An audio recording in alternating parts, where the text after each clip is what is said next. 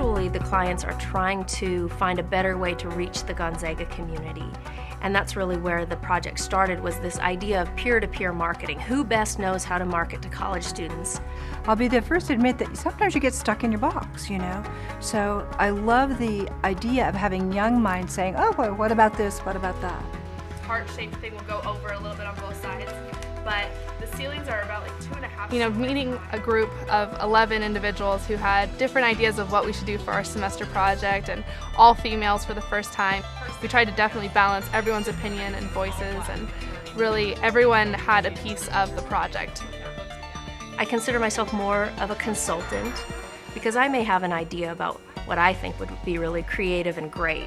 And inevitably, what the students come up with is better than anything I would have come up with anyway. We felt that the students would connect best if we kind of connected to the student audience at Gonzaga, and that's definitely a group that's, you know, oriented towards service. So we decided to team up with Teen Closet. Teen Closet is a company that is, you know, into giving clothes back to kids who are in the foster care systems.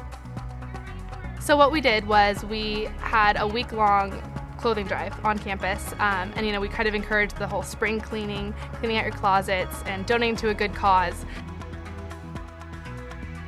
Service is not a required part of this project. It's not part of the parameters. It's nowhere, you know, delineated in the in the project guidelines that they must include a service component.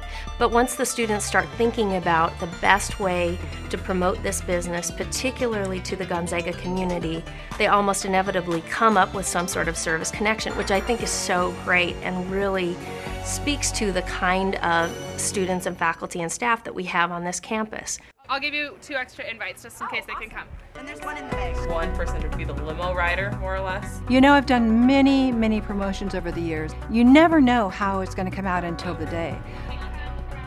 We just had so much energy, you know, leading up to this, we've had so many ideas that finally came together and into place and seeing our work pay off.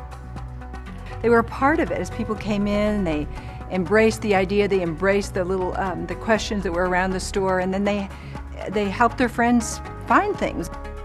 And what I think this project does is just give give them that extra piece, an extra bit of experience, an extra project that they can take out, take to a job interview and talk to a prospective employer about this is the work that I've done, this is the impact it had as measured in market research, and, and really show people that they have skills that they've actually applied to a real world project. I think it just gives them an extra edge when they're competing with other students.